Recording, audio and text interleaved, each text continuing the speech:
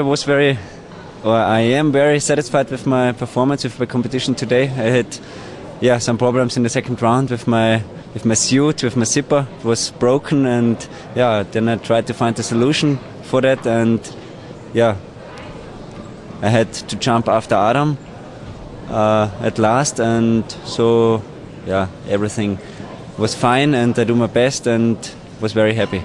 Was it more difficult for you to jump after Adam and because of all this problem? Yeah, for sure it was very, very difficult. It was very excited, uh, especially. Uh, but I was always concentrating myself and yeah, tried to do do the best. And yeah, was was happy when everything was was fine at least, and yeah, enjoyed my jump. And how did you manage to fix the zipper?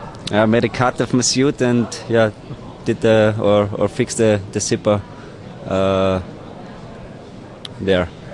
Okay, and how did it happen that it got broken? I don't know.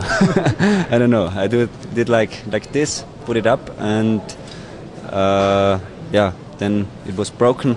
Suit is going uh, bright, and yeah, wasn't a good feeling at this Adam, moment. Adam was second today. Do you think that he will, can be a good rival also in the tomorrow's competition? Sure, Adam is always a, a very good uh, athlete, and I'm very happy for, for his second place today. And I know that he's